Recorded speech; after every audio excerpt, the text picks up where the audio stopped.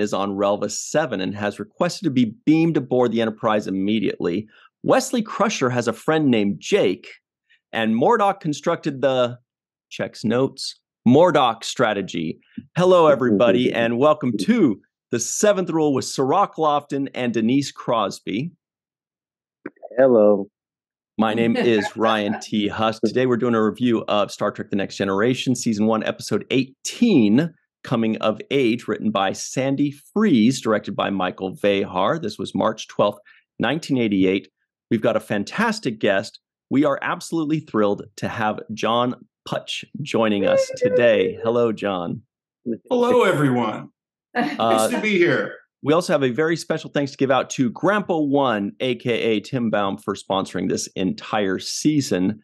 Let's just Wow. get right into it. John, you Yes. played this guy.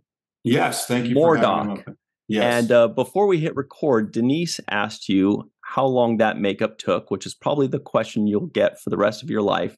What's the answer to it? well, it was. It had to be at least four and a half to five hours because they called me at. Figure if your call time's three thirty and you get in the chair, then uh, my set call was seven a.m. So what's that? Three and a half, almost four hours. So and sometimes it'd be later because you know they they delay or move something or something and and yeah, I was asleep in the chair. So it was a really long process and but it was a very lucrative uh, guest spot because they'd have to uh, force you to come in inside of 12 hours pretty much every day that I worked. So um, it turned out to be a nice, you know, extra cheese uh, for for coming in so early, thanks to Screen Actors Guild and their rules. So, Mhm. but yeah, How I fell did it- asleep in the chair, huh? How long did it take to take off? Oh, well, not as long, but I, it- you know, I had never done an appliance uh, uh, character before, so I didn't realize that they needed to take it off for Yeah. you.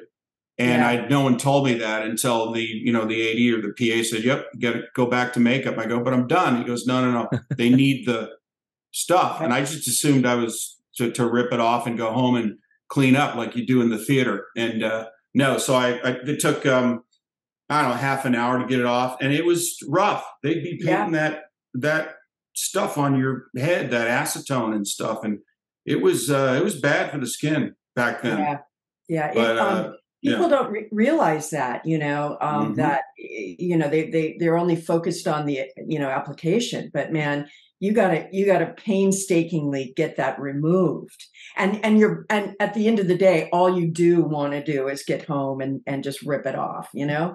But Yeah. you gotta sit there a whole second level process. Lunchtime was always unique for me because um, when when everyone would go to lunch, it's a walk away on the Paramount lot. So they give you an hour, and you know you'd walk to the commissary. And me being a Star Trek fan prior to the show, uh, you know you you were in the commissary and you'd see Star Trek, Starfleet characters walking around with their trays. You know, and they and it was like I, I took note of it and was just so amazed by it. And I would, of course, tell my wife everything when I got home. Guess who I saw in the commissary today? I saw I saw a Vulcan, and I saw I saw three. I saw a transporter guy. I saw some gold. I saw some red. You know, I had the whole thing, and then there I was in the blue thing, and I clearly was the anomaly because everyone was staring at me, uh, and I felt like a I, I, I don't know. I felt like a, a monster, and uh, and I couldn't eat when I got there. You know, it, everything would break off if I ate, so I had to do soups, and I had to, you know, they brought me sippy things during the day, and it was hard. I was I was uh, tired and hungry at the end of every day, Yeah. but uh, you know, fun nevertheless. I don't think I could uh, get through that today at this. But it was worth it, at least for those of us who watched it. Maybe not for you, but as Mhm. Denise mentioned, she said before we recorded that this was the best makeup she's seen so Mm. far.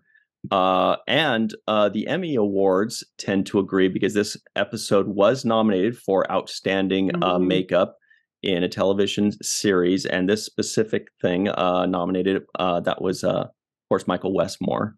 Um, so great accolades there. And it was, you know, noticed, which is not something that happens well, I very can often see why. with Yeah. Star Trek. Well, it was nominated, but it didn't win, correct? Yeah. I mean, what could it, what possibly beat out this? My Uh, guess is uh, something non-sci-fi. They hate sci-fi. They're so well, I, and also remember you're season one and you're just becoming a super hit, and you know how they are. And then, but he got his Emmys later. I mean, there were Emmys Yeah. delivered later in year. uh, Were there not? I'm pretty sure there were. Yeah, I mean, I, I, I don't know actually. yeah, I no, mean, there were. Yeah, there were. yeah, he's got plenty of Emmys. Yeah, he's he got Okay. more. got, he's got a, a ton of. He's all Emmys. right. Are- yeah. Are we allowed to swear on this show or not? I mean, I'll keep it. we can use the word 57 as in 57 Emmys uh, that Next Generation was nominated for. We'll check on how many they actually won, but that's gigantic. wow, Oh, it won 19. There you go. So that's exactly one third. If my math is correct. Yeah. one nineteen Emmys. yeah, I mean, they're all. They were gen? all. all in makeup and and all in makeup. No, different. That's No everything. acting? different categories. Yeah, Any acting Emmys? Well, they don't. I'll tell they you don't who give didn't acting win an Emmy. Emmys. you know. Expectantly. They, She- they don't give acting Emmys to sci-fi. No. I- No, from they don't. From what I know, no, no, no. No, they don't. which is terrible because you know it is acting. I don't know why they don't qualify it. Um, it, it just if there's a good story, it should just get nominated. Yeah, to to this day, it's that that's the case, isn't it? It, it's I kind of say- a discriminatory thing. It's it's a Yeah. discrimination against science fiction. Yeah, it actually, Yeah. you, you joke, but it, it, we've always felt that way, honestly. yeah, yeah. Uh, but John, you kind of touched on this a little bit earlier. You mentioned you are a Star Trek fan. Mhm. Do you remember when you first laid eyes upon Star Trek and dreamt that someday you'll be a monster at the commissary in the name of Star Trek? no, never. And uh, you know, I love the original show, and uh, as a as a young youngster, and uh, you know, it was when this thing came about when they announced they were doing this. I mean, the just this town. Well, the the Star Trek fans were were all aflutter because we had the movie at that point. We I think we had a couple of the movies uh, at that point, and now there was this the new show. We were just dying, and uh, luckily. I knew Junie Lowry Johnson from years ago, who is a very loyal casting director and brings in all of us on most of this, you know, whenever she can. And I read for the pilot, uh, for the, the I read for one of the characters on the first show. I don't even remember, but she brought me in on everything. And uh, I came in uh, over the years on uh, the first season on uh, on this show, and and you know this one hit, so uh, I got in that way. But um, I never dreamt I'd be on the show, but when it, when we all heard it was coming, you know, every as we all do, our, our little actors in the town, we're all we're all excited about it and trying to get in on it and hoping it goes. And uh, but yeah, no, I, I I did pretty good in the '80s when I was an actor. Of course, I don't. I'm a director now, but I don't. I did the '80s were kind of good. I was the right age. I had a. Uh, I was slim. I had hair. You know, I had all that. I didn't. You know, I was I was charactery, but not. Uh, you know, uh, so I I I remember uh, doing well in the '80s, and then it all just fell apart in the mid '90s, and that's when I started veering off to do everything. Smart. uh, when you first come on the screen, you have this kind of harmonica-looking contraption. What? What? What? Right. Do you remember wh- how? Yeah. difficult- It So we like must we, we we must Yeah. discuss this item. Uh, I've discussed it before, and it, it is it was a, a, a marvelous little gadget that they uh, created for this character who was from a water planet, meaning okay. that's why I have gills. If you look behind Ryan, they've they put gills yeah. back where my ears are, and they're and these tendrils. It was a very you know fish-like character. That's what they told me, and uh, so they want they needed something here which would lead the viewer to believe that this is what I used to breathe oxygen when I really need Oh. to be you know gilling or something. So they had this little License to Gill. yeah this thing that clipped onto my uh, i had a you know i had the the uh, the girdle on under the tunic and they clipped this thing in and it held there it had a battery in it and uh, they had little leds which was amazing back then because i how do you get those you know? And uh, and it, uh, and they dropped little ice crystals uh, alan um, what was the prop man's name? Alan? Oh, oh, he was so nice. Sweet alan. Anyway he yeah. he'd he'd come over and drop little ice crystals in uh, that were uh, dry ice every Mhm. like literally every shot. And i would have to hold my head a certain way so you couldn't see over the edge so the camera couldn't see over the edge to see the little ice crystals. So and then they to, to add even more uh, di- difficulty to doing everything uh, i had to like try to puff into it to disperse you know clouds because they didn't have you know smoke VFX uh, or they couldn't track it at the time you know all this stuff that you can do now so uh, I had to like stand there at a certain level like this most of the time and then I, I could only cock my head this way and that because if I ever did this they go oh, no no no no camera operator would say no no no no can't can't do that. I can see the ice. And I go okay and can you try to puff into that as you're saying this line Oh, and I go, no. I said, I'm talking. So if I talk and try to puff, I'd have to puff with my nose. I said, I can Yeah. do it in between. I can do it, you know, uh, right before I talk, right after I talk. And that's what I tried to do. Plus, it changes Oh. your performance. But uh, that's right. the property master, the prop master was Alan Sims. Just looked him yes, up. Alan Seemed like Sims. a nice I guy. love then, that huh? Guy. Sweet guy. Sweet guy. Thank Yeah. you for looking that up. Wow. Well, you you made it work. I mean, you you totally you know sold it. You sold it.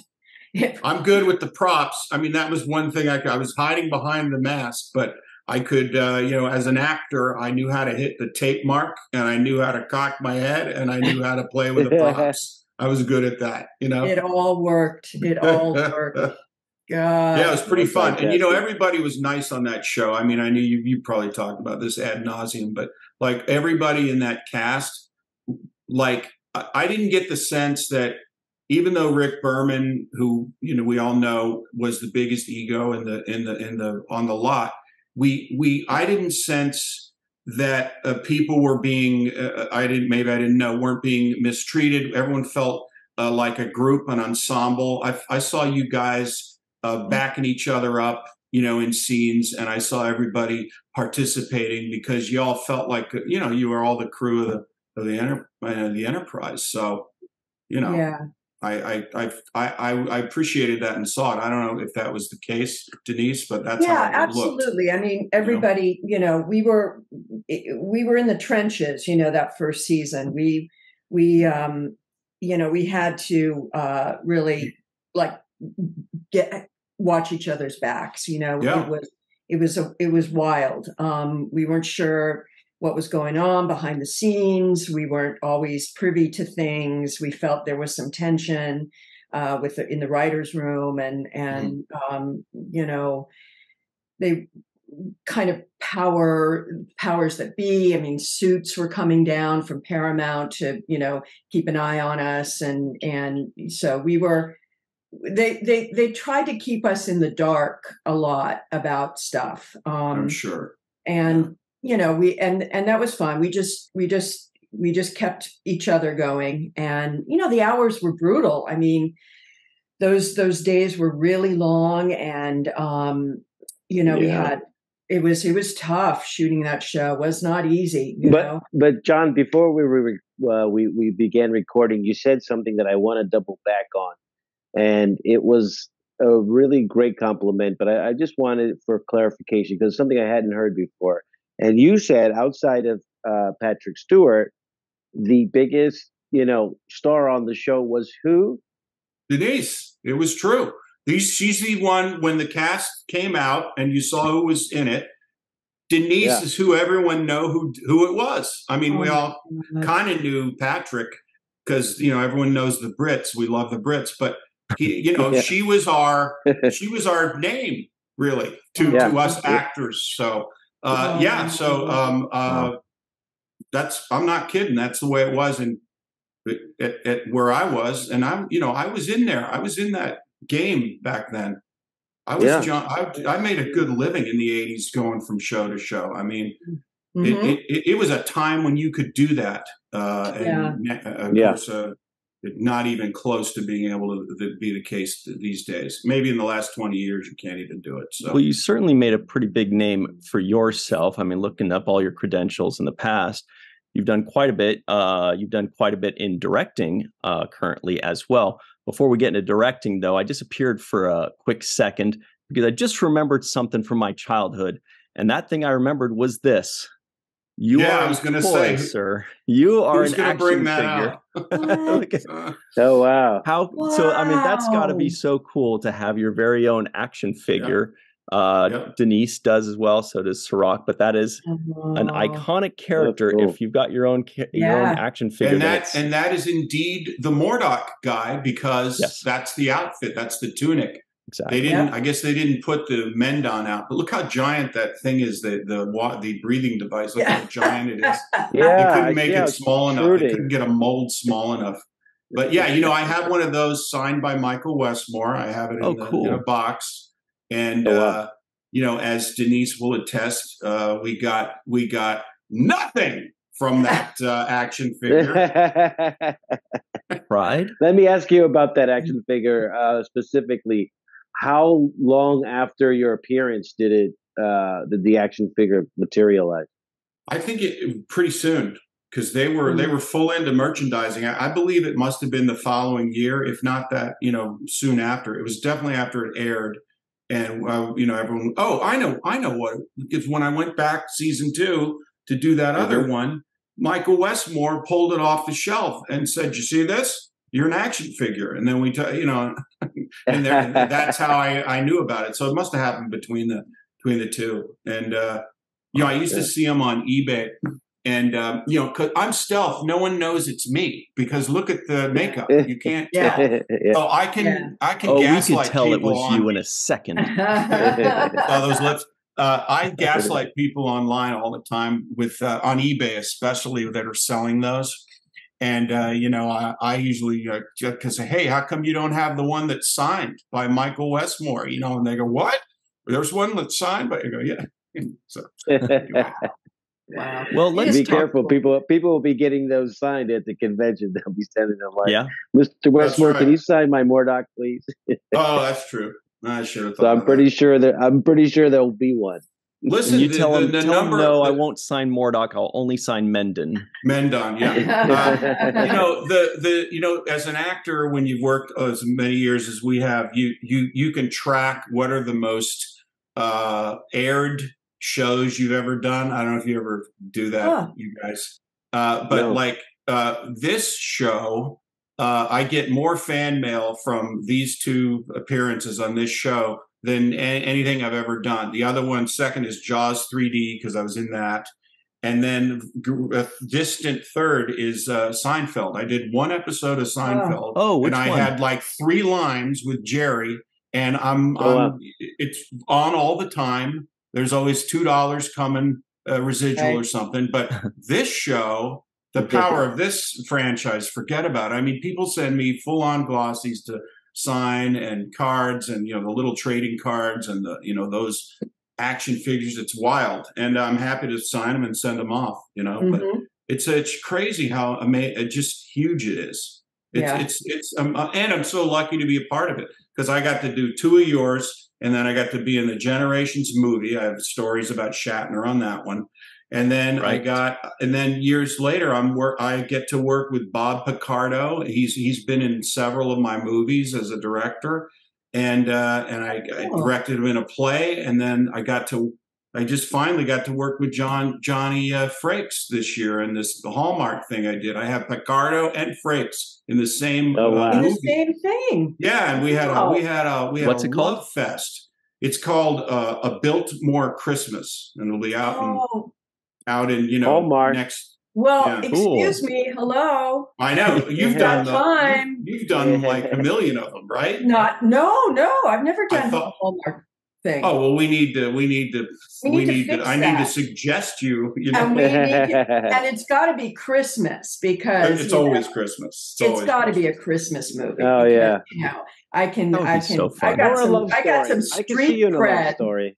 I Yeah. can see you in a nice love story, a nice Actually, Hallmark love story. Yeah, there was one I almost did once where it was kind of cool because it was pretty progressive. It was, um, you know, I I was the mother of of a, a guy who's gay, and and it was the first time Hallmark was doing like a Christmas gay story. but Yeah. I don't know what happened. It sort Yeah, of that was a big deal. That was that was in the Yeah. last couple of years, wasn't yeah, it? yeah, Hmm. yeah, Yeah. All right. Yeah. So you have you've And- been down there. yeah, yeah. But Yeah. I'd like, I'd love to work with you. That would be so You need, much. Fun. it would be That fun. The, the be fun. Trekkies That- would go nuts. Yeah. I know. It's like it's I'm mm-hmm. connected in ways of six degree, you know? yeah, So I, I'm very glad about that. I'm very happy about to be included and, and be part of the history books. It's fun because, you know. John, you mentioned your your transition from being an actor to a director, which you are currently. And my question is, and this is this may be a question you haven't gotten before, but would you hire yourself, Ooh. the actor version of yourself, for a project Ah. that you've directed? And if so, which project would that have been? Well, yes, I would because I appreciate the kind of actor I was. Show Okay. up on time, know my lines, don't piss anybody off, work as an ensemble, not a star, Mm, and yep. and you know hit hit my mark. I mean that's a director's dream. And when I get actors like that on a, on my set as a director, I'm literally I'm like, oh my God, thank you, Lord. Some somebody has sent a, a, a good human being actor to me that's not in this for some other reason. But Anyway, yes, I Mhm. would I would uh, put uh, hire myself. What project? No idea because uh, I don't I don't- I don't I, I'm not particularly uh, fond of looking at myself on camera. So that's why because I deleted my uh, my uh, picture here. I'm only seeing you three. So just I'll give you an idea. really? Yeah. Well, here you are Yeah. too. Yeah, Uh, well, that I can take because I, you know, Now, John, we only have you for another minute or so, but you did, I know, but you did s- sneak quickly by saying that you have many stories about William Shatner. oh, it's Um, a whole episode. Well, you were It's on the movie Generations, right? You were one of the Yeah. reporters on Yeah. the bridge, which is Yeah. such a fun scene. Everybody remembers that scene as the Tuesday scene. Um, can you tell us a little bit about that?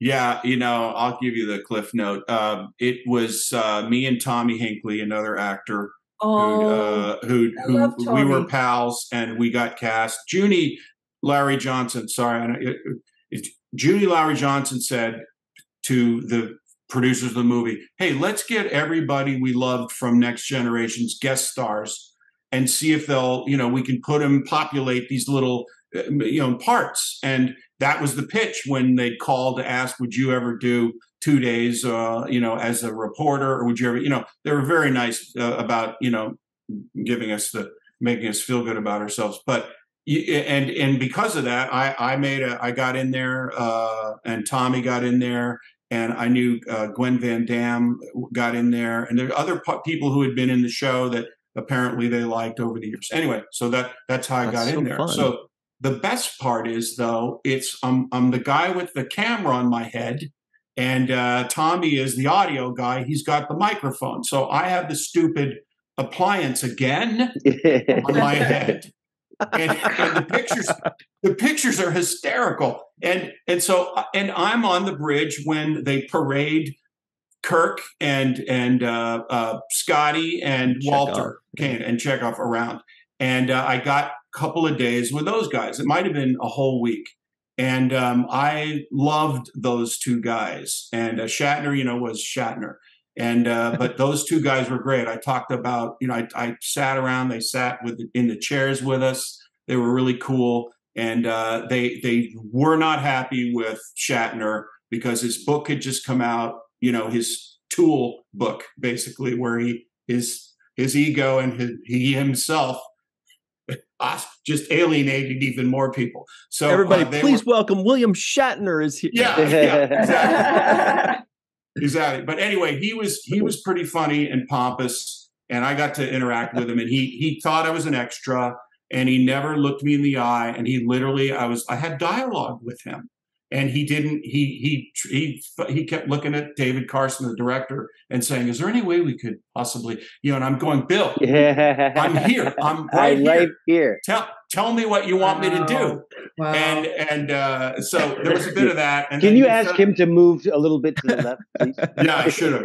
I should have. But he threw me into a light. Uh, you know, he pushes me away. Get out of my face with that thing. You know, he pushes me into a light, and I literally I knocked over a light because he pushed me off this thing. You know, he didn't make work, and so I like literally I walked up to him. I said, "Look, we've done stage combat. Don't push me. I, I just knocked the light over." I literally saying to him, "I go, just you know, give me the shove. I'll do the work. This is how we do it." And he literally looked at David Carson and said, "I think we should do it again, and I will." I'll, you know, I won't push so hard this time. so it, it was hilarious. It, it, was a hilarious four days, and there's wow. more. There's more. Wow. There's so much more, but I can't. You know, yeah, I know you don't want to talk about it, but because this is the not that show, but uh, fun. and I every day I'd go home and I'd go, honey, guess what happened today? And I tell her the whole because it's it's Captain Kirk, you know. Yeah. Watching yeah. him yeah. childhood, and there he was. He was a really it was a really fun yeah. experience so anyway, I got to do that, and and then and I think that was the end of it. Really. I didn't I didn't work on your show, Cirroc, and I didn't uh, I didn't work on oh. Voyager. I knew people. I knew mm-hmm. you know mm-hmm. we all knew each other then. You know, yeah. You go to well, auditions. you mentioned Junie, and I I mean that yeah. Junie hired me for my role, and I love her dearly for that. Yeah. You'll never be able to thank her for that. Uh, repay her. Yeah, but no, uh, she was she was yeah. great to us. And David yeah. Carson directed our pilot episode, if I'm not mistaken. So I, uh, he definitely did. Yeah, that sweet mm-hmm. guy.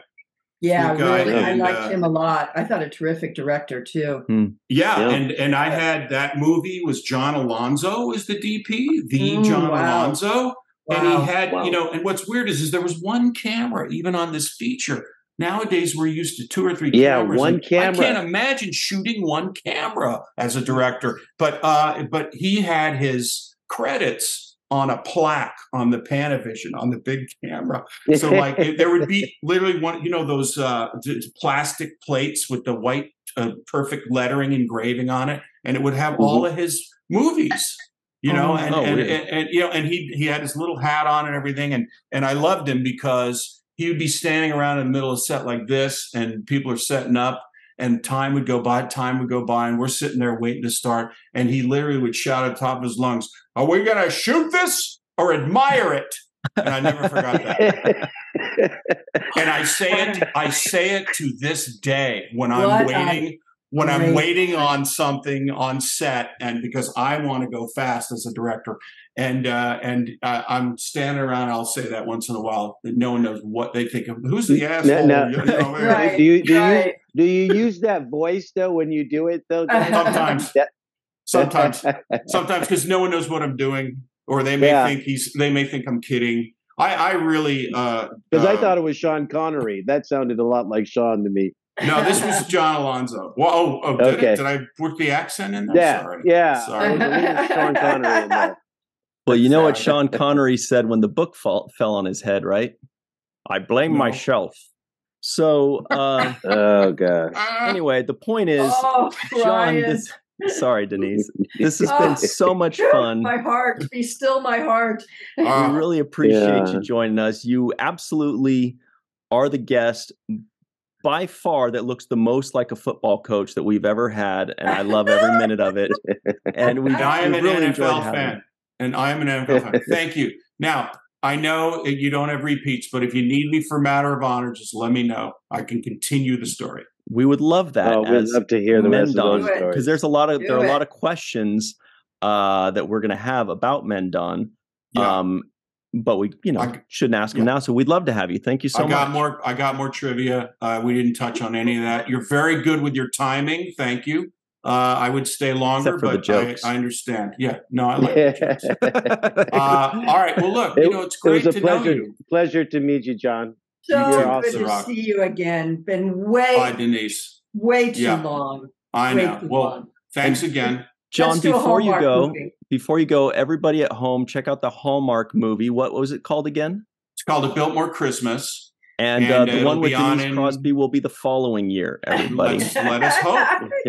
Uh, so everybody stick around. We will be right back. Uh, thank you so much to John. This has been amazing. Really appreciate you and your time. We'll be right back, everybody, on the seventh rule. Hello, everybody. Welcome back to the seventh rule with Denise Crosby and Cirroc Lofton. Uh, that smile we have is from John Putch. he was so much fun. even after he left, Yeah. we were like, oh my God, he was so much fun. Um, but anyway, we love him. We hope to have him back again sometime. It would be amazing. Uh, very quickly, here are the trivioids of the week. Wesley Crusher has a friend named Jake. It's just so cool to hear him say Jake. Yeah. Uh, Yeah. Admiral Gregory Quinn is on Relva 7 and has requested to be beamed aboard the Enterprise immediately. Wesley Crusher will be 16 next month. Mordock constructed the Mordock strategy. Only fools Okay. have no fear. Admiral Quinn wants to promote Picard to Admiral to take over as Commandant of Starfleet Academy. There's something wrong in the environmental lab, and Picard decides he's going for a walk. So, this was a lot of Mhm. fun, this episode. Um, it was kind of a Wesley Crusher episode that kind of befit a Wesley Crusher episode. It seems like they're maybe ironing that out a little bit more. What do you guys think? Yeah, it was nice to see uh, Wesley with you know kids with his his own age, his peers. Again, we're Mhm. seeing how that really benefits um, the the show. Really, really blossoms for him when that happens, and uh, it it. it Whenever this is now like I think the second or third episode we've seen where he's you know with his with his peers and just how appropriate it, it feels and such a nice addition and he was just delightful uh, in this in this episode and I, I really liked this episode i i didn't remember it as usual God, there people our audience is going to say you know I really think she needs to see someone. Well, I challenge anybody to remember something 36 years ago. Come it on. just you know i mean Yeah. really i can't but um it was it was just really um it, wa- it was just a fun engaging episode and they blended the two a and b stories were a little more you know symbiotic in in this way than they sometimes are Mordock, yeah. Mordock. yeah, I thought this could have been episode could have been called the test because it felt Mhm. like both Picard was getting put through a test. The Mm, ship, the, the state, you know, the Oh, whole you're ship right, was being yeah. tested, and Wesley's being tested. So, like, mhm. I felt like everybody was being tested. Um, the first about t- ten to twelve minutes, I was I was a little slow on, so it took me a while to get into the story. Um, it just didn't unfold fast enough for me. But once I got into it and it started rolling it past the around twelve minute mark, I felt um, that I like the story more and more. Um, because the um, the commander Remmick, Yeah. who was going around being, you know, uh, his own Captain Shaw. in his own mind. get it. And yeah, in his own mind, he was Captain Shaw and just getting under people's skin and just, you know, um, I I thought he he really was good because there Yeah. was a there was a moment where I was questioning his motives. I didn't know if there was something else going on. It was hard. He was getting under people's skin really well. Um, I like the fact that the crew stick, you know, were sticking together. I like that they were like, no, we're not. There's nothing to see here, and we're not going to talk about anything that we have going on personally. That we've, you know, personal discussions. Um, for example, when Dr. Crusher came in and said, you know, what how I feel, my opinion of, of the captain is none of your business, or something to that effect. yeah, effect. she did. Yeah, so I thought that was good. Um, Mhm. I also liked the way everybody was, you know, even Data, um, you know, stood stood up and he was like, "There's nothing, you know, there's nothing there. There's nothing wrong."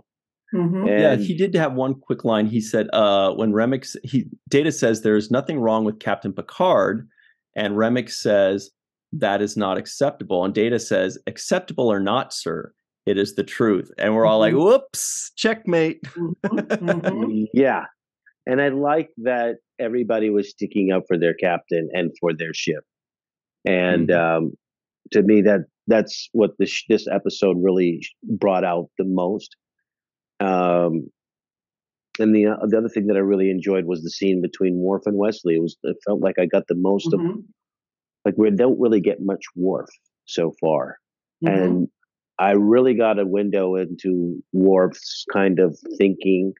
Um, I thought him having the interaction with Wesley and being concerned about him was also another good sign of uh, you know fellow you know human being concerned about another one um, and also Worf opening up and giving him some personal like Yeah. advice about his own insecurities. I thought, whoa, that's pretty uh, Yeah. mature. I was for war. wondering if maybe they were thinking, let's plant the seeds of this unlikely friendship of a Wesley and Worf friendship. And then I thought about it, and I, I don't remember anything ever coming from that in subsequent episodes.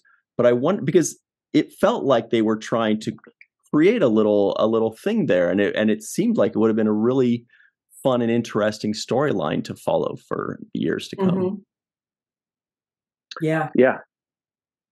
absolutely. Um, uh, I think Worf gave a great line. He said, Thinking about what you can't control only wastes energy and creates its own enemy.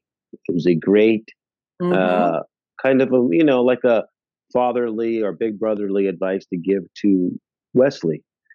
And then he went on to say, you know, only fools have no fear.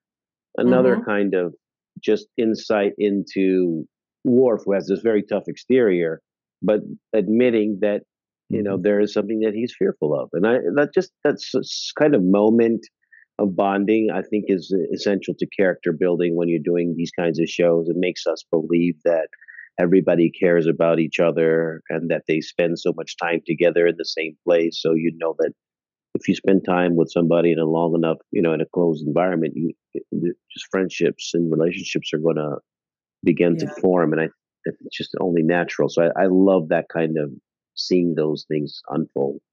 And it's it's it's smart you know writing. It's it's it's deep thinking you know that that went into this. And you get a, a sense of the depth of these people that they're not just uh, without without conscience and and and thought and and depth reading. Like they they spent time in with philosophers and and and and structuring you know these these philosophies that start to come through it's not just reacting to you know crises and things like that but they they actually they actually have you know philosophical points of view that come out Yeah. and that that's nice to see You know, And the you know the other. Oh, I'm sorry. Go ahead. no, Ryan. please, please. I was going to change the subject onto something else.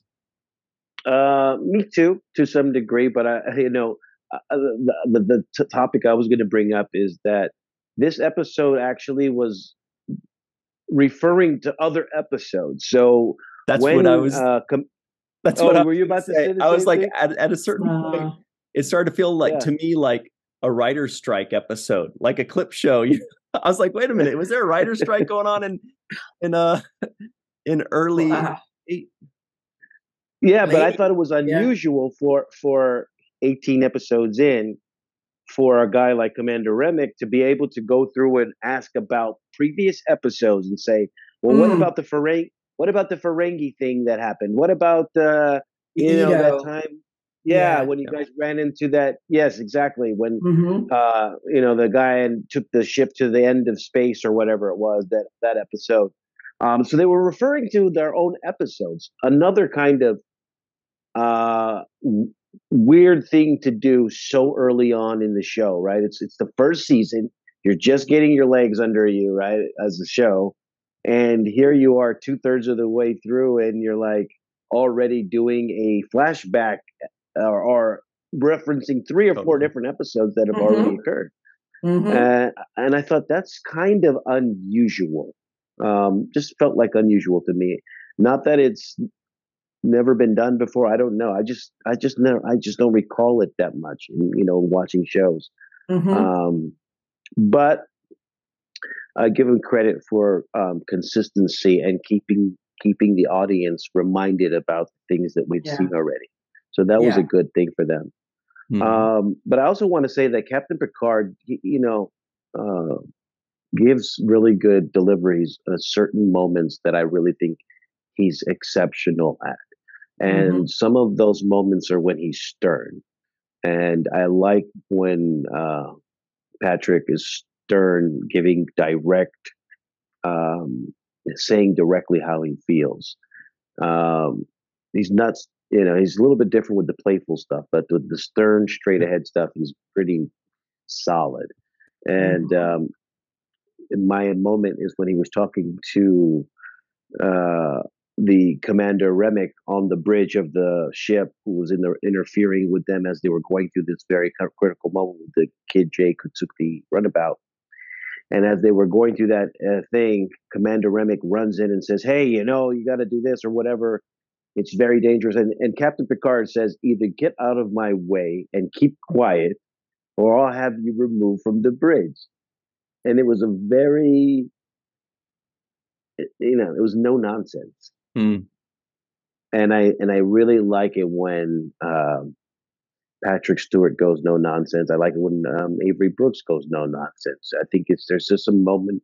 To me, that's what a captain is. It's the guy who's willing to and not afraid to say things that might hurt your feelings, but they got it has to be said, and to in order to remain or you know re, reclaim order. And um, mm-hmm. that's to me, those are the moments. Those are the captain moments. I want to see the captain say, "No, this is how it's going to be. I'm drawing a line here, and and you know, and and setting a tone." And I thought that Picard did a very good job of setting that tone in that moment. Like, you know, you might have your job to do, but this is my ship. I got a job mm-hmm. to do, and you're interfering, and so, you know, there's no there's no middle ground here. You when you said up, that, Cirroc, I was picturing Denise as a captain. I was like, oh man, she could nail that role like that yeah. too. I can yeah. just see it. Absolutely. Absolutely. Yeah, well, you know, and you never you never um he never loses command, you know, of this. He really sets that and I I remember acting with him uh, on the show, there there was always that he brought that personally to the set. You know, there was a there was a gravitas, there was a there was a seriousness, there was a um, preparedness. You know, you never like you never thought Patrick was going to show up not knowing his lines and not giving. You know, I, I mean, nor did any that happen with anyone. But you you got the sense that you know, this man is like, we've got to fall in line hmm. alongside acting with him. You know, so it was never, you never had to do this like leap of faith to to believe he was your captain. He just brings that personally. Yeah. You know? Yes. Yeah. Well, That's what I'm talking for about. Our uh home run of mm. the episode uh today. Uh, Denise, you're already smiling. I hope that means you've got one well, already. Or you know, I I go back and forth with this one. I mean, I between Wesley and Picard, you know, for me in this one, um, I thought Will had an exceptional um, episode in yeah. that he really had to had to have some a lot of different places he had to go to in this episode. Um, I mean, I think I got to give him a tie because I I just think Patrick too was was superb in this in this particular episode where he really um you you you feel him struggling with the, the the the position he finds himself in that is so is is is is so uncomfortable for him to be kind of not brought you know not in on the assignment here. It's his ship it's his power it's his you know he knows it better than anyone. He's one of the great captains and yet he's not being allowed in on this. And he hmm. just does such a magnificent job, I think, in this particular episode. So I'm gonna I'm gonna give him a tie. Yeah, Um, I'm going to give first my honorary mention to uh, Jonathan Frakes, who does some of the best pouting I've ever seen uh, as an actor. When when he throws his tantrum, uh, temper tantrum, yeah, he he just I don't want to be here, and he just does this thing, and it's funny because he did that when um, you know Troi's husband popped out of nowhere or arranged marriage husband guy and he went on his whole like i am just really upset and you've just pissed me off. So uh i love when he does his temp- temper tantrum. I think jonathan frakes is hilarious at the temper tantrum. I love it. Um but my my home run is actually going to go to john putch Mm-hmm. Is that how you pronounce his last name? Punch. Mhm. Uh, I I liked what he did with the character. I guess some of it can go to the writing, but I want to also say the delivery. Um, and the moment that I'm giving it to him for was, I think it's something very admirable when somebody forfeits their own uh, reward or um, you know he was being praised for being exceptional at what he does. And instead of uh, accepting that praise and saying, you know, yes, Right. I'm the best, he actually took that opportunity to say, no, Wesley, I wouldn't have done it without Wesley. He took time out, he helped me. And he was basically saying Wesley's better than me. And I actually thought that's that is a quality in itself Mm. which makes which makes him worthy of being chosen because it's a level of honesty that requires you to take yourself down a notch Mhm. and he could have easily have just accepted the praise and been put on the pedestal but he actually had to reflect and be honest with himself and Mhm. um, and pass the proper uh, due acknowledgement to what Wesley did. And I thought that is what made him worthy of being the first Benzite in uh, Starfleet. That Mm. quality. Mhm. Well, Mm. I've got so much to add to all this, but I'm going to try to trim it very as well as uh, Wesley Crusher's hair got trimmed. Uh, I feel like Wesley Crusher's barber gets an honorable mention. I feel like Riker doing his straddling over the seat gets Oh, honorable yeah. mention. It is Hell like yeah. thinks he's on a on a horse or something. Uh, Wesley Crusher himself. Uh, it's nice to see him doing things that befit the character. I think a little bit better, and he did very well with that. Um, and- but John Putch, to me, for introducing one of my favorite aliens, which are the Mm. Benzites. I love the Benzites, even though we don't get to see much of them.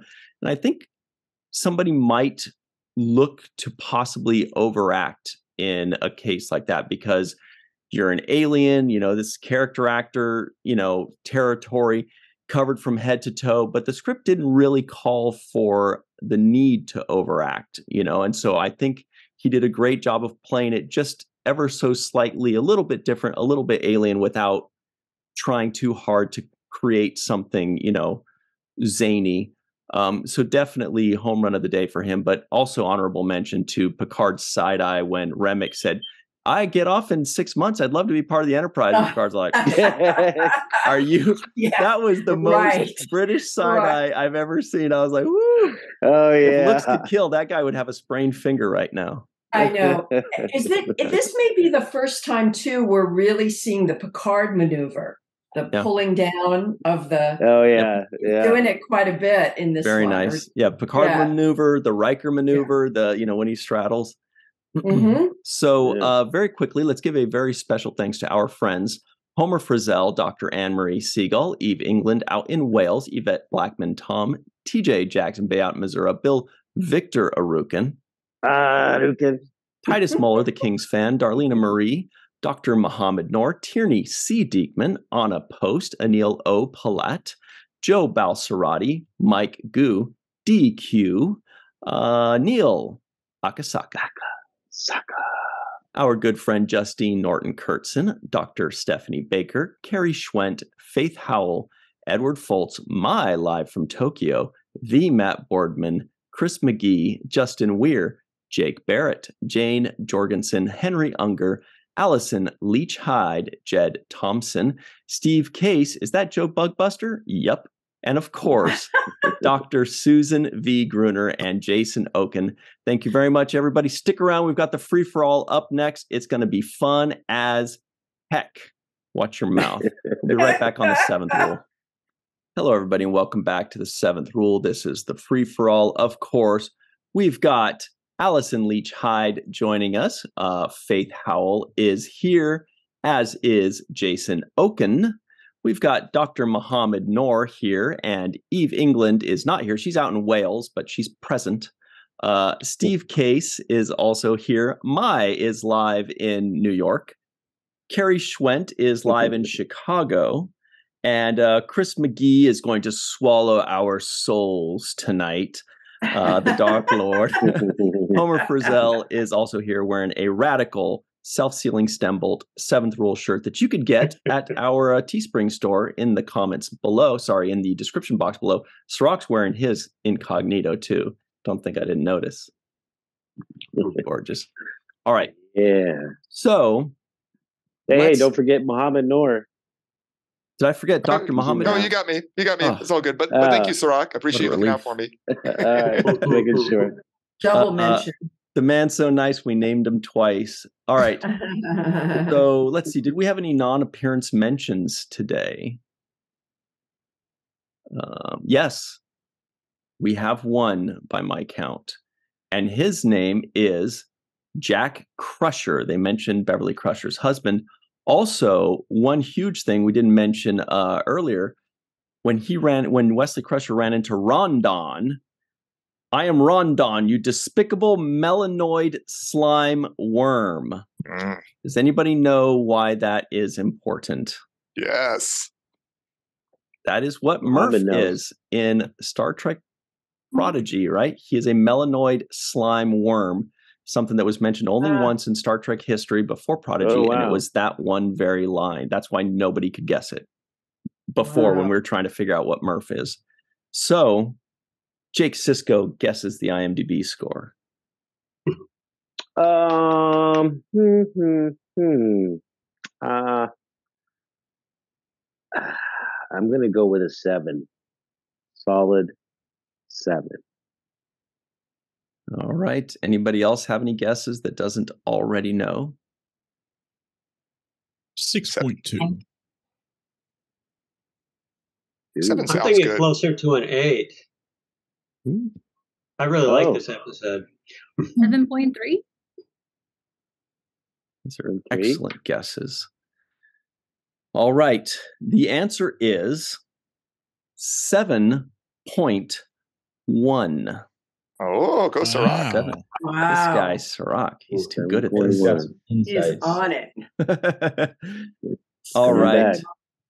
So let's talk about this fun episode uh, Eve England sipping in her futuristic mug. Can you please start us off? Actually, I remember those mugs kind of started in like the 80s for like travel mugs or something, right?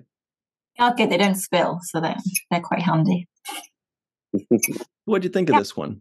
Yeah, I like this one. I didn't kind of feel myself rolling my eyes really very much at all, which is really positive for me. So yeah, no, I actually really enjoyed it, and I I like I like the Wesley story particularly.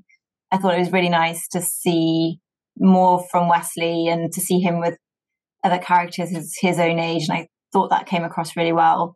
Um, but I, I really, I did like the, the, the fact at the end that the you know the admiral had this big conspiracy theory. So I was kind of I want to hear more about that. So I'm I'm hoping that we might get more of of this in the future. But I'm assuming that maybe we don't, and that was just kind of a plot device for this episode. But I was quite intrigued by what potential sort of infiltration they might have had at the top of, of the Federation and Starfleet. So, yeah, I, I, was kind of intrigued by that. So I was a bit disappointed that there wasn't more of that. So, I'm, I'm fingers crossed I get more, but I'm not 100% convinced I'm going to get that.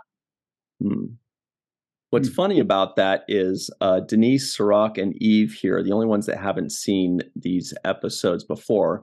So we didn't talk about this earlier, but when you said I, I'd forgotten about that. That they mentioned this conspiracy thing, and they just mm. didn't touch it at all after that. So oh. uh, I'm sure everybody else here has no idea if the conspiracy plot line will continue on towards the end of this season or any other. Uh, Dr. Mohamed Noor, your thoughts on this episode? Uh, they're, they're a little spoilery, but I'd say I like both plots. Um, I was excited to see the introduction of both Remmick and Admiral Quinn, just because they're characters that we may get to know a little bit more later on. so that was that was interesting. Um, I actually thought Remmick had some interesting depth and complexity to him. So even if he was annoying to the crew, I actually found him an interesting character nonetheless.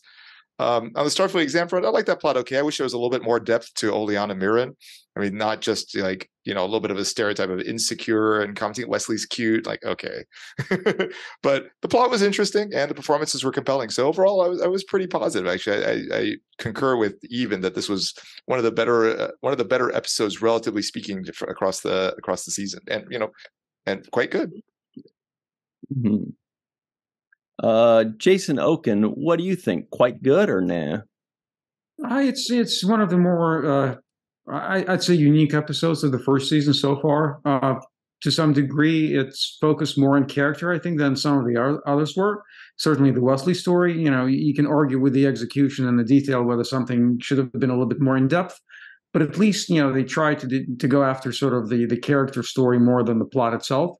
I mean, you know, the plot piece is, you know, is the conspiracy piece, and to me, it's all, you know, this episode has always been sort of a, uh, uh, I guess, a, a, companion to something else, which we don't want to spoil. And that, that's how I tend to see the show specifically. But you know, the Wesley story, just to see, first of all, to see him, you know, basically fail at something, even though mm-hmm. you know he tried hard enough and failed. And I think it's maybe you know certainly the first time we see him fail. Exactly. Uh, not the last time, but certainly the first time. And it's nice to see that he was not perfect and the fact that you know, he certainly didn't accomplish what he wanted to. If he did, he'd be off the show.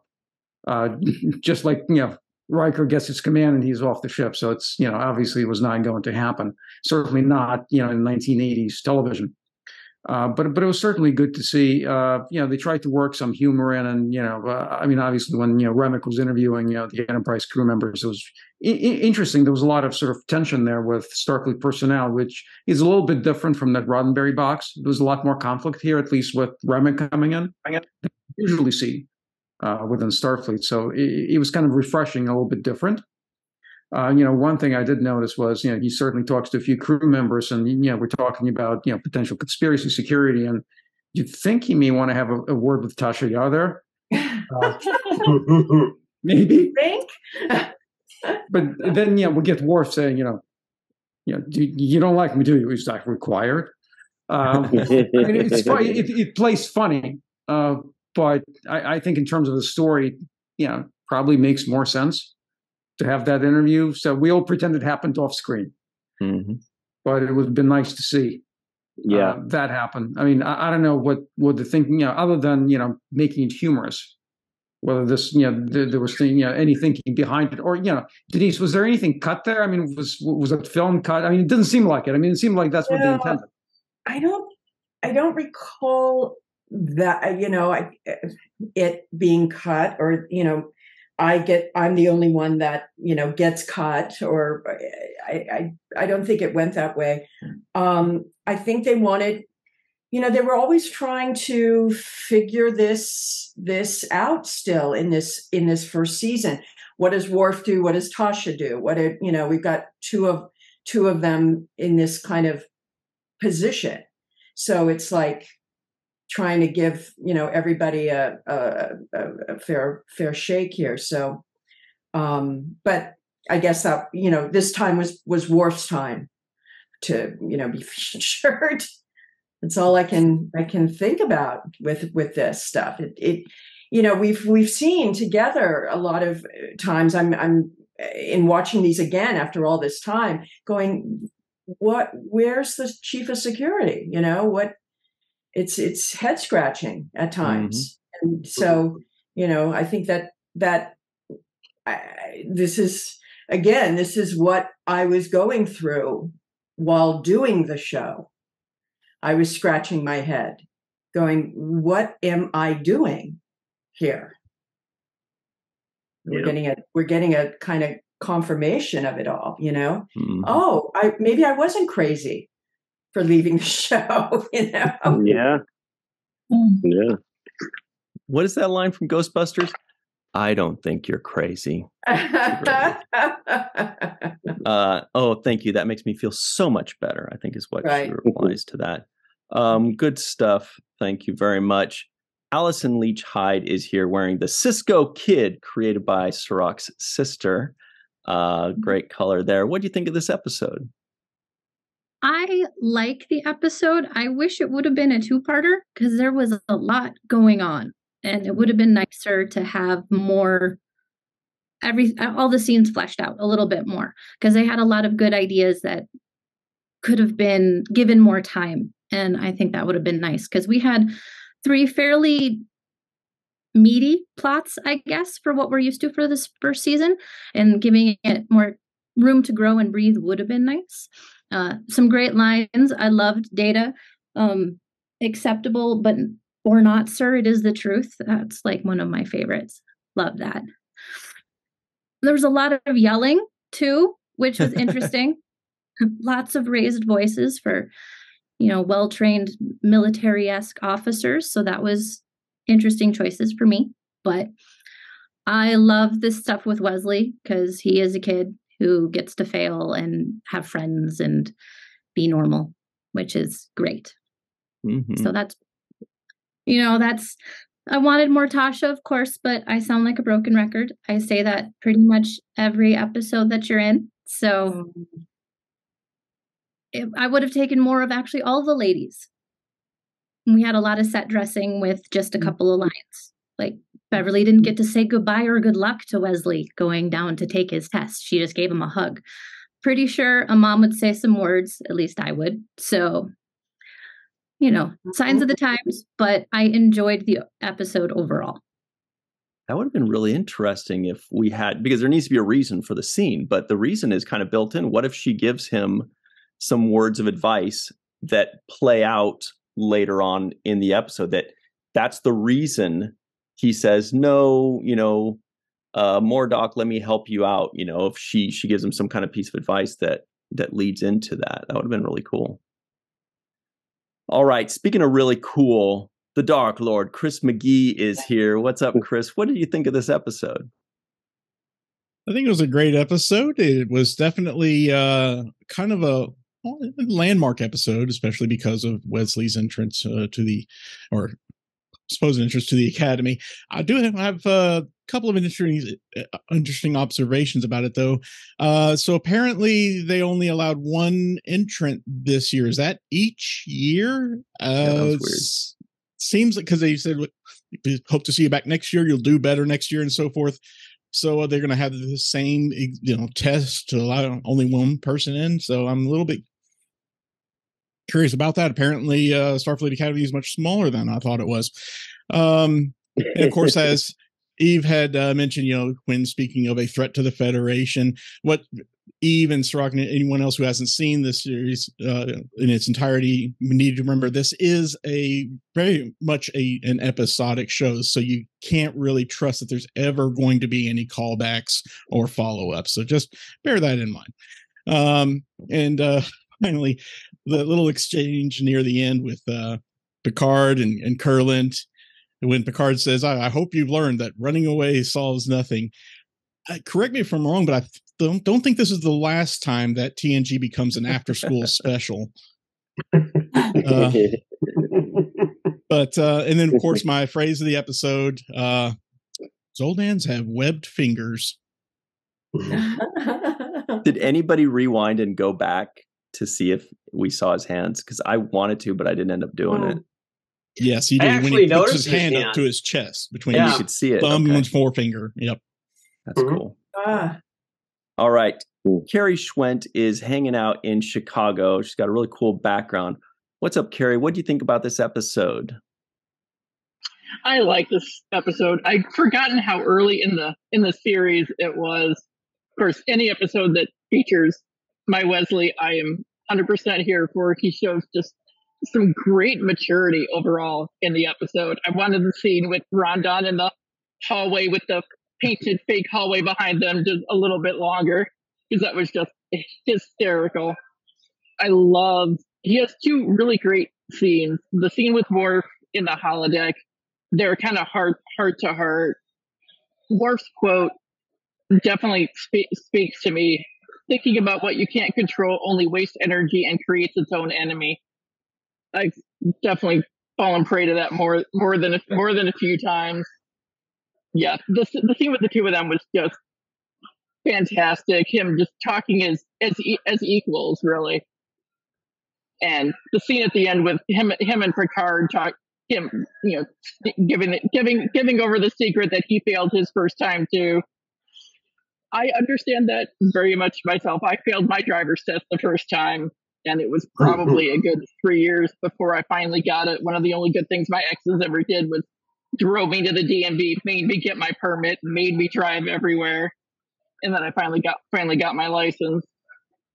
But yeah, I will. Yeah, Remmick is, was super creepy. I did enjoy his little yeah, getting in the spirit of things with on on the on the bridge with everybody, but then he went back to being creepy again. But I will end with my my limerick for, for the for the episode. It is testing time for two of our crew. Picard learns his ship is up for review. Wesley faces his fears, but, but must retest next year. And the Admiral's offer Jean Luc won't pursue. Nice. Mm-hmm. There we have it. Wow, great stuff, Carrie. Thank you very much for calling in all the way from Chicago. Mai is live in Tokyo slash New York. How are you, Mai? What did you think of this one? I loved seeing Sam. It was fantastic. Uh, and nobody watched Quincy when you were kids. Oh, Down under? Oh, oh. No, that's Quigley.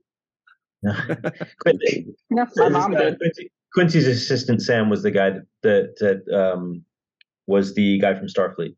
So that was kind of cool. Um, I was I found it curious how the crew got so annoyed at, at, Remmick so quickly rather than just making fun of him. He'd be like, you know, tell me this. What did you do there? I don't know. What did I do? Or something, you know, to be really smart assy with him it would have been fun. Um, but that maybe that's just me. that would be all of it. I noticed that Picard, he's he's always described as somebody who hates kids. He did phenomenally well with kids this time. Maybe it's better. Maybe he's better with adult kids, but he killed it with both with Wesley um, and Jake. I thought that was really fantastic the way he handled that. Um, a lot of subplots uh, going on this episode felt very short. It just zipped right by. I thought. Um, I like it a lot. It's a great episode. Mordock getting into Starfleet, and getting getting an assist, getting to Starfleet. That really makes me happy.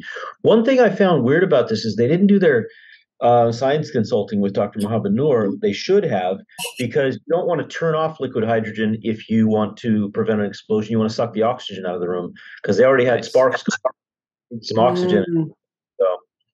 So they should have just sucked the oxygen out and there would have been no problem. But they're like, oh, we're going to have to, we can't shut it off. Who cares if you can shut it off? Just don't put oxygen in the room. But anyway, that was my thing. It was, uh, it was a great episode. Loved it. Excellent knowledge. You got like 14 thumbs up from Mohamed there, so that's that's really good stuff. Uh, 16. All right. Uh. Steve Case is also here. What's up, Steve? Did you enjoy uh, this episode? And uh, what can you teach us about science today?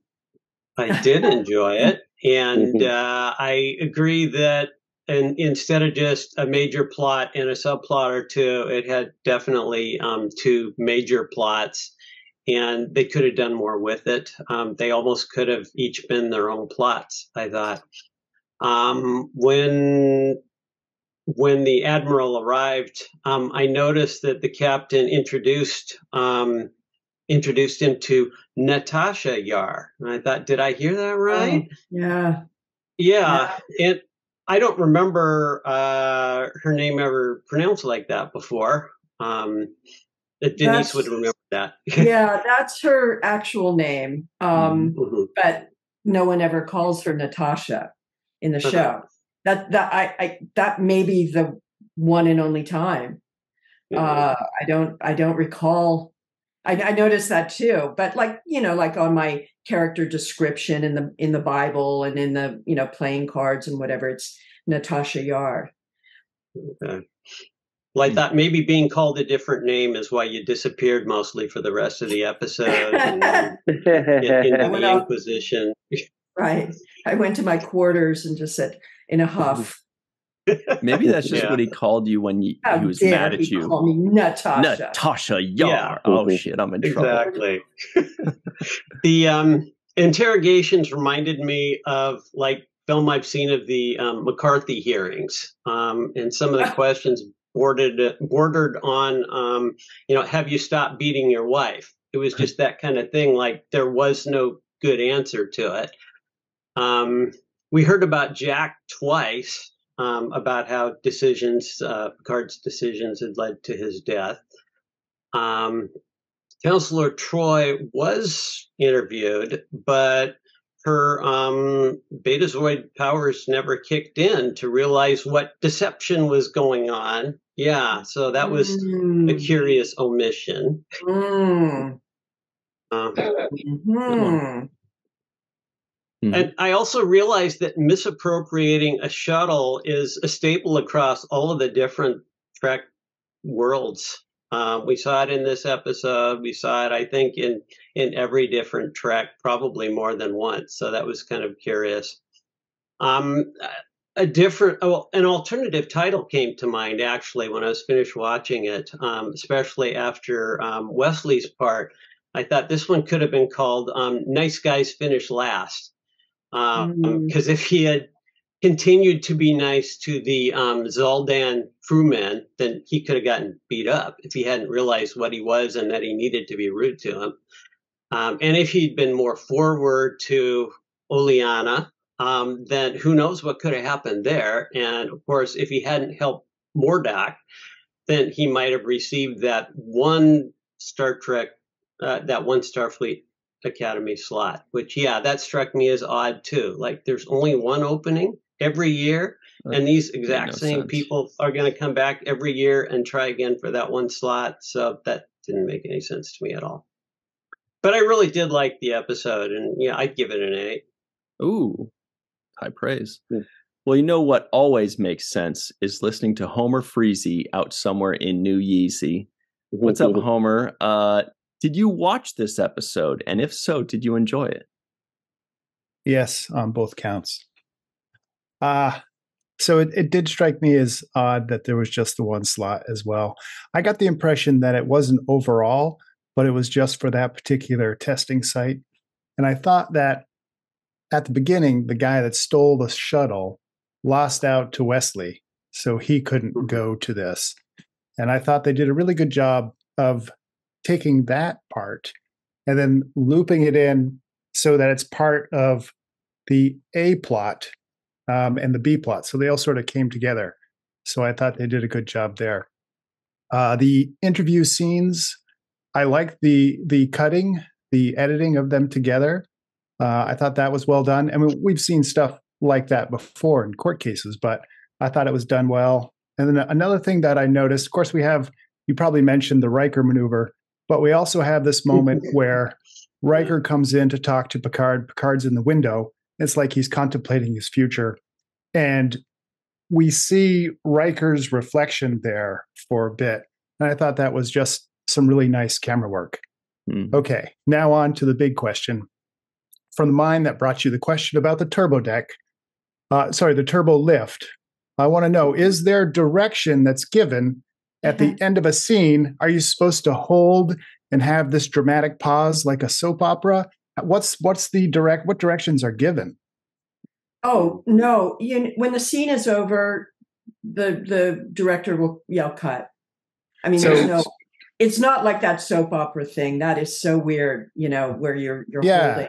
Um, um, no, it's they they the script supervisor is there. They've got you know they're they're going along with you. They know what the last line is, and you know the director will call it. Because I, I- it seemed to me towards the beginning, Riker is holding it for a little bit, for mm-hmm. for, and then they cut to what would have been a commercial there. Well, And they so might, just- they, yeah, they might want to just, you know, hold a close up on him Yeah. or something. But but you'll see start to watch it with that in mind. You'll you'll Yeah. start to watch the scenes and they they they end pretty much when they you know when there's a commercial break it's sometimes a little bit different maybe Yeah.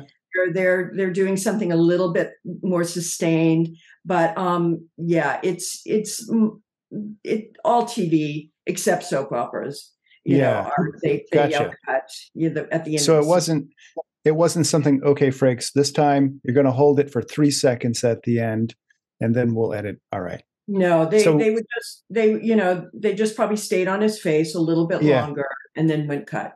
Yeah. Cool. Okay. Yeah. So that's another thing I can I can put to bed and I can sleep better. Thank you. I'm so well, glad you know, at the end of this free for all, we're all going to do that. mental health, Homer. Yes, very important. Uh, Faith Howell is here, and we're so happy for it. She's on the bridge of the Enterprise D. What's up, Faith? What'd you think of this episode? the best enterprise, right? Um, yeah, I, I like this one. Um, I, you know, I'm coming from the age where I really liked Wesley. I know, you know, he's not always everybody's favorite, but he was, you know, my big brother type hero. I, I think he's cool. Um, so I really enjoyed the idea of this test, and um, I've often wondered, you know, how how would I do on this test, and what would my um, big you know final exam test be um i wonder I, I wonder what you guys would pick if you had one maybe we could talk about that later um but yeah i, I mainly agree with carrie um Remmick's a creeper. Wesley's awesome. Um I, and I also wanted to answer um, Mai's comment about Picard and and the children, and I wonder if he did better with Wesley in this case because um, now they have a point of s- similar lived experience. And so it you know he had something to speak to where you know a little toddler you know what do i do with it? It you know drools it it runs around it touches things. There's no rules in its little life that make sense to me so what do i do? And so i know i know a lot of adults as a second grade teacher i know a lot of adults are like that. They just don't know what to do with children. So um, i wonder maybe since they had this common experience then he was able to have a really prolific conversation. Good point. Great stuff. Well, Mhm. um, it is time for oh, in honor of uh, Jerry Springer, I think that passed away recently. It's time for Cirroc and Denise's final thoughts on the episode. Oh God, with Jerry Springer. Isn't that what he would do? Um, Like a final thought or yeah, something like no, that? Well, or you know, stay tuned for next week where you know my Klingon baby is having an affair with my giraffe, you know, or something. Um, wow, yeah, I liked this episode. Um, I I really again you you see when when Wesley is with his peers just how he can he can really blossom and it's just it's just it's just a whole different level of of of this character comes into comes into play. I thought the guy I thought I really liked the guy who played um their their uh their leader, their supervisor through all the Mm. testing. I thought he did a really nice job. Um and Hack there was Officer thing- Cheng. yeah, Officer Chang. I thought he was terrific. Um, the other thing is, um, there's an interesting thing when when they when they gave the um, the position to Mordock, you know that he was the candidate chosen. There was something um, where Officer Chang said, um, or, or Mordock tried to try to resist, you know, try to say, you know, really it it should be Wesley. Um, and Officer Chang said something really subtle that it, it wasn't just that there were other things why he didn't why he came in second. And I it left me like going, what other what what is that about? Like where did he not I mean every test along the way he aced. You know, and he, He he, handled dro- he dropped the ball with Oliana. That was the test he didn't know. There you go. well, yeah, you know, he's he's a professional. You know, he's there for you know, you know why he's there. He's can, yeah. wait. But yeah, I, I just, I just kind of wondered what what because it wasn't explained. I wanted to know what that what that yeah. was.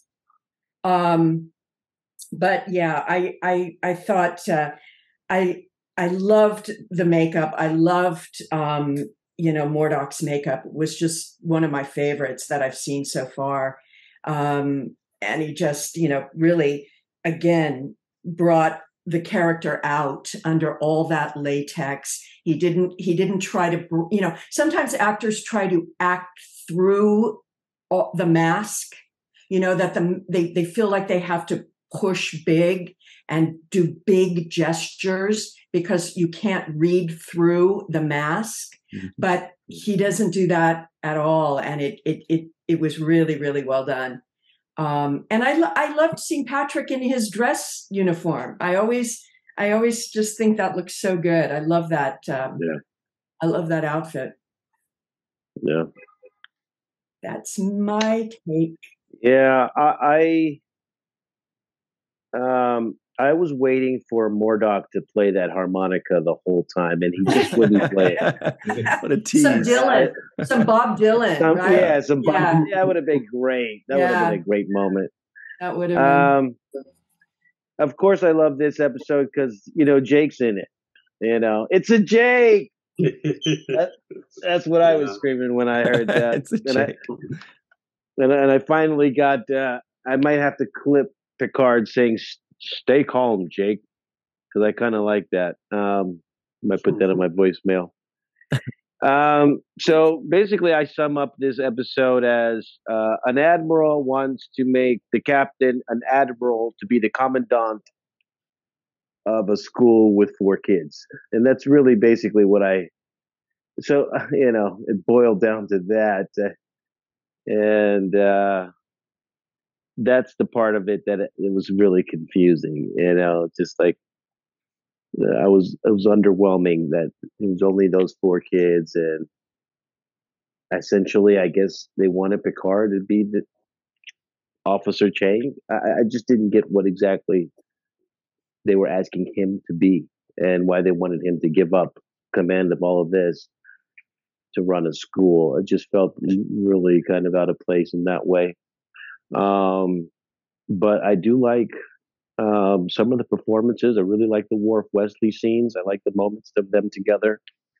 I thought this Commander Remmick was was good at getting under people's skin, and really felt like an Inspector General type of character. Um, how everybody was pissed that he was there, but he had the right to be there. So it's kind of like one of those things. Um, and yeah, I just overall was a good episode. It was um, it took me a little bit, it took me about 10 minutes to get warmed up. But after that, I started to get into it and started to enjoy it. We got to get get Cirroc to write the uh, IMDb synopses to uh, these episodes, or like have a, a segment where he gives us one of those gold nuggets every episode. Um, well, that's you know, it. My, yeah. Oh, one thing I was going to say, you know, my feeling about the like the academy, like this this, this feels you know relva or wherever they you know land for this it feels like a, a testing site like i i mm-hmm. feel i feel like the academy is somewhere else filled with lots of people mm-hmm. you know so that's the place i think that patrick would um you know i mean picard would go and um run you know on some that the, the the the federation or the mm-hmm. academy is somewhere you know somewhere else I got that. the academies in San Francisco. It's not just right. Yeah. San Francisco. Yeah, yeah, that's where it is. Uh, and this was Relva seven, but I didn't really catch the details of all that, so I really couldn't speak on it. Um, but all right. Well, thanks everybody. Thanks Eve, Chris, Mohamed, Jason, Allison, Carrie, Mai, Steve, Homer, and Faith. This has been a lot of fun. Everybody at home for myself, for Denise, Cirroc, Malissa, and Aaron, thank you all so much for joining us.